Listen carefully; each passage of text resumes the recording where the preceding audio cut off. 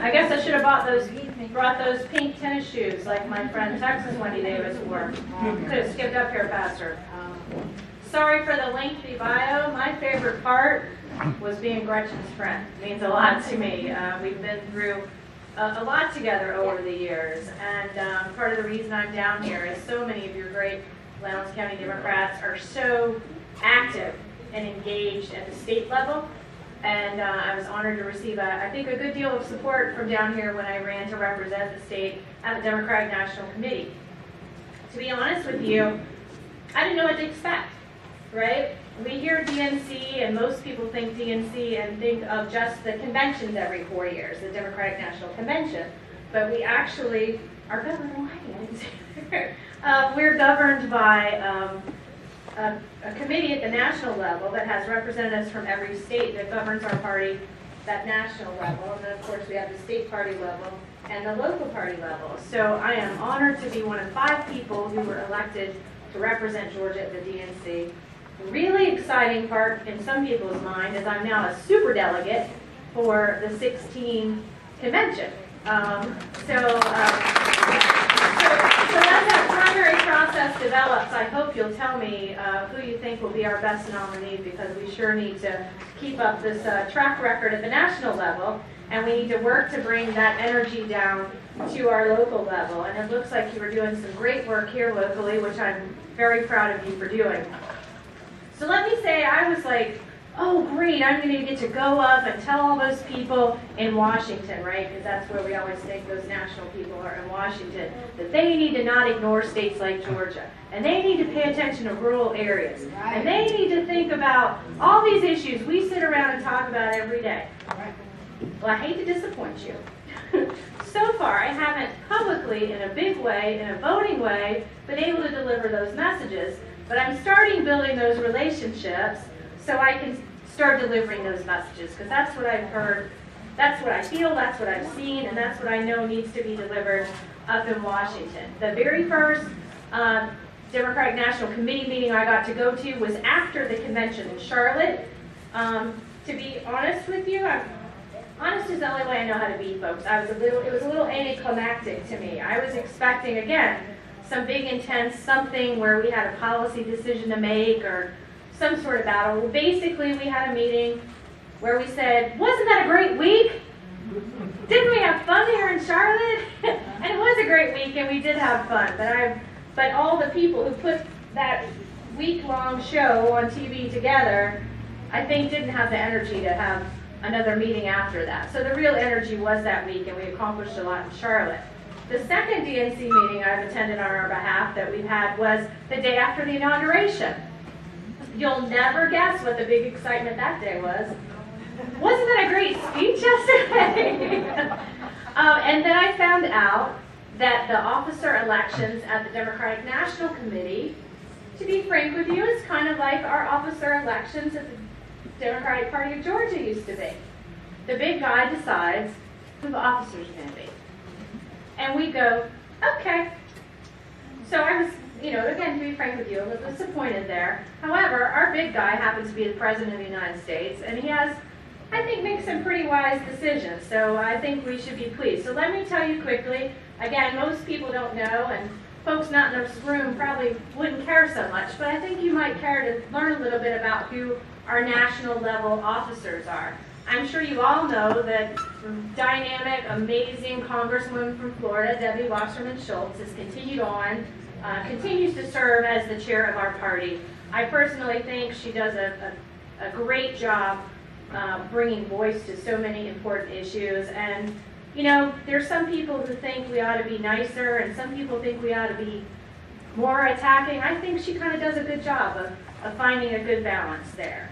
Um, many of you are familiar with Donna Brazile, right? She's a national talking head, accomplished uh, political operative. She also leads the party's Voting Rights Institute, and she continued on as one of the party's vice chairs. Uh, one of the vice chairs of the National Party is typically someone with a strong connection to labor, and our newest vice chair there is a woman named Maria Elena Durazo, who is from Los Angeles, and she is very active in the Federation of Labor uh, in California, uh, obviously, and and nationally with the AFL-CIO. One of the most exciting people to me to get to meet is another of our vice chairs. We like vice chairs, apparently. We like vice chairs a lot. Uh, another uh, congresswoman, this time a freshman congresswoman from Hawaii. Some of you may have seen her on TV. Congresswoman Tulsi Gabbard or Gabbard, I, I'm still not quite clear how to pronounce her last name. But the exciting thing is not just that she's smart and articulate and, and young and kind of strikingly beautiful. She's also the first uh, person of American Samoan descent to serve in Congress and the first Hindu. Uh, and she joined Tammy Duckworth as the first two female combat veterans to serve in Congress. And I tell you what, they are having their experience show and their leadership show in terms of so many of these issues. So uh, really proud, really proud of her. And proud of her too, again, stepping up. I mean, she's young, but to step up and say, in addition to these responsibilities, I'm willing to be a leader of the party. I says- think it says a lot about her. Uh, are- We have a new secretary of the party. Many of you remember Alice Germond, who was, has been the secretary I think as long as I've been alive. and she has stepped down as secretary, and our new secretary is uh, a terrific young woman from Baltimore. She's the mayor of Baltimore. Her name is Stephanie Rawlings Blake. Um, I'm, although I'm going to give you a pitch for some money, I'm not one of these big money crowd people, but you know at the national level, particularly for the president, there's a lot of big fundraising that's needed and required. And this past couple of presidential cycles, there's a new organization that started called the Futuro Fund. And the gentleman who was a founder and a leader in that organization, Henry Munoz III, is now the party's national finance chair. So very excited, not only because he's a big money guy and we need to be raising that big money, but also because he has done a lot of great outreach in the Latino and Hispanic communities to bring those folks into that fundraising mix too, a lot of business people. Um, the municipal elected officials are represented um, by Mayor R.T. Rybak from Minneapolis. Uh, we have at the national level an association of all the state party chairs, and that is led by a gentleman from New Hampshire's party named Raymond Buckley. And some of you may remember, can't remember if it was last year or the year before last, he spoke at the Atlanta, our state party dinner, did a great job there. And Andrew Tobias continues on as our treasurer for the National Party. He's done that since 1999. I, I couldn't wish that on someone necessarily, all those changes with the finance rules, but he's done a good job keeping us straight. So that's an update on where the national leadership is. I'm excited. In August, apparently we're having a big full-blown, finally DNC meeting that's going to be two days and different council meetings. I'm joining the rural council.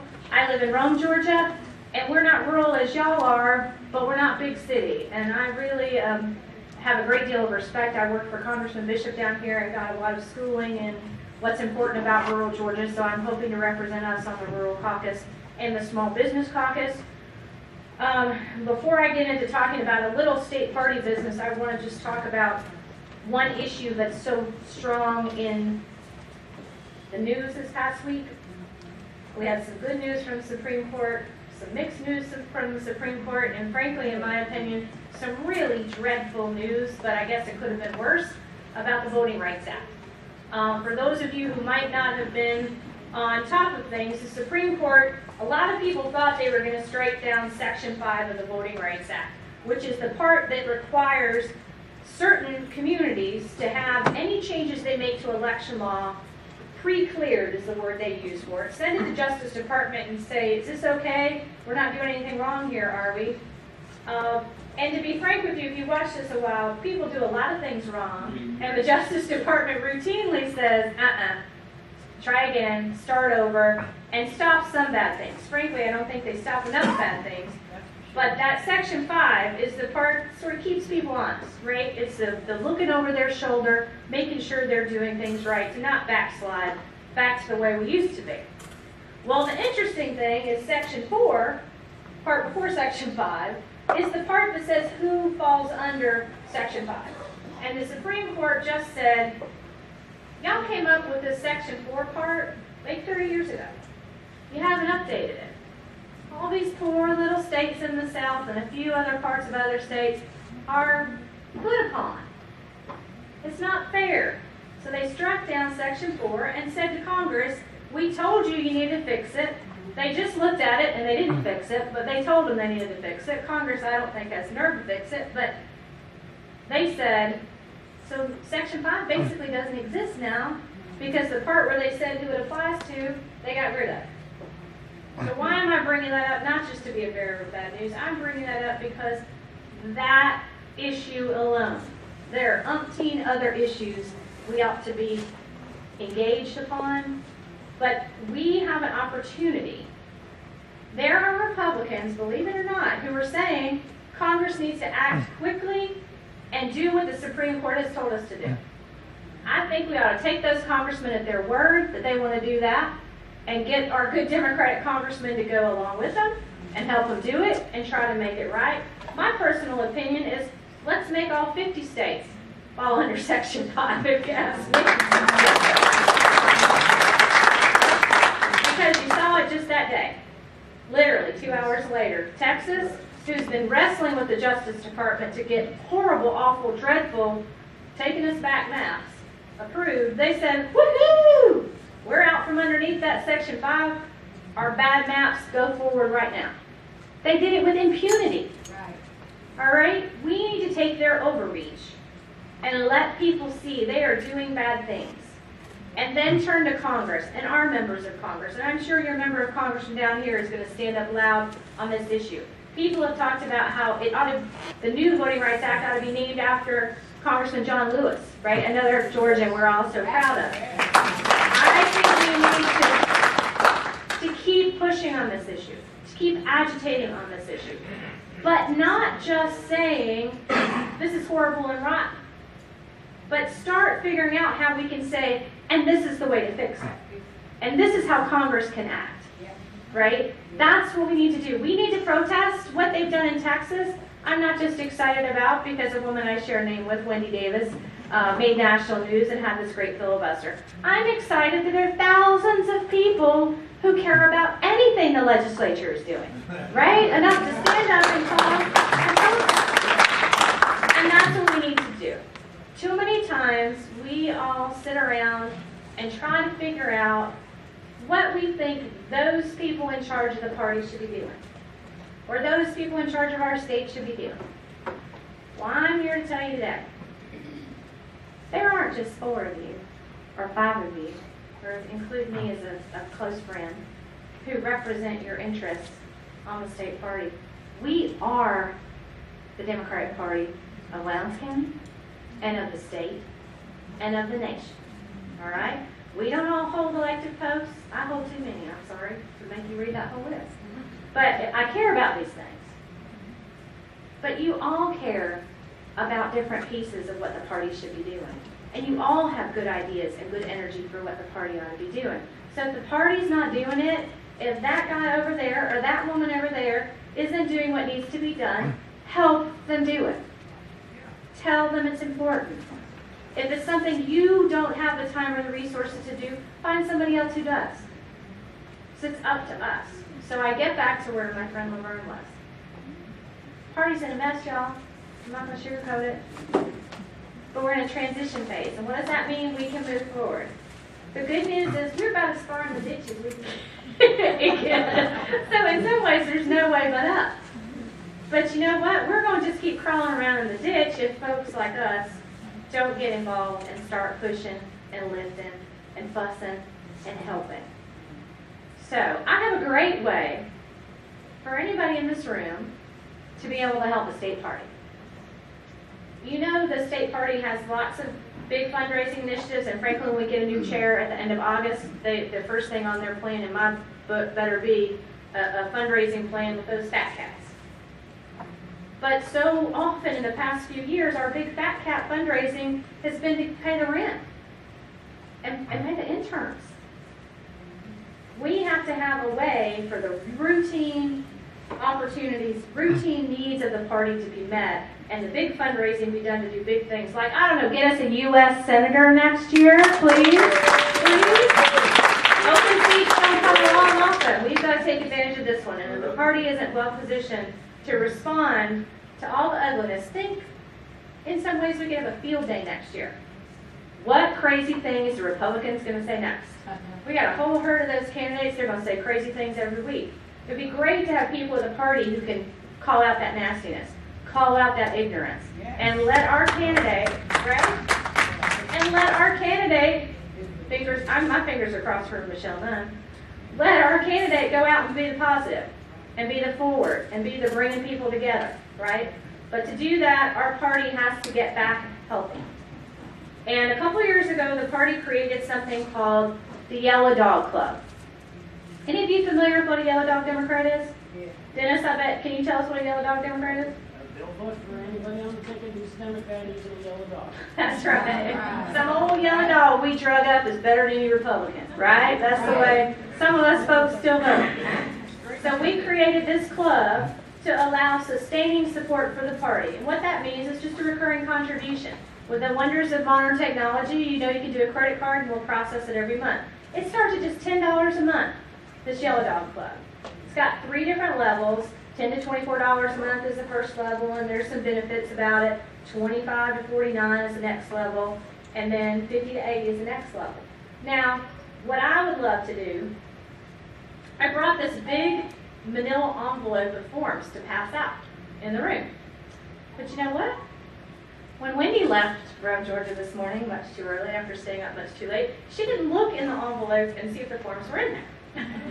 So I'm embarrassed to say I don't have the forms with me, but I know we can get forms back down here, and I know anyone goes to the Democratic Party website, Yellow Dog Club is right there on that front page, and uh, and hopefully you can talk about it at your upcoming meetings. But what we'd love to do across the state, we're reaching out to state committee members and county parties across the state and to activists like you, and saying, I, I can't write a thousand dollar check. I'm just not in a place to do that. If I can give ten dollars a month, I might sometimes I I can give twenty dollars a month. Right? So whatever is comfortable for you, I'd like to encourage you to look at that and consider being a sustaining donor at a, at a level that you're comfortable with to the Democratic Party. And what I'd really love for the Lowndes County Democrats is for y'all to come up with a an, an idea of between our members or between the folks who come to our meetings or between the folks who are there at dinner, we think we can raise two hundred dollars a month, right? You know, twenty people at ten dollars each, ten people at twenty dollars each, what, however you wanna mix it up. But I'd love for y'all to think about what you think you could do. And maybe challenge your neighbors, right? Hey, Thomas County, bet we can do better than you, right? You know, that good rivalry, you know, that good rivalry. But most important, I want to thank you for being here tonight. A lot of places you could do the week be the week of Fourth of July. I'm honored to be down here another Fourth of July week with y'all. Um, General David Poythress sends his fond regards. Enjoyed being with you previously when he was running for governor, and I was honored to work on his campaign. But thank you for what you do. Please stay committed to the ideals that we share. Please remember, each of you is the party. The party's not some disembodied something someplace else. It's the people, and we need to act that way and act on it. So thanks so much for having me tonight.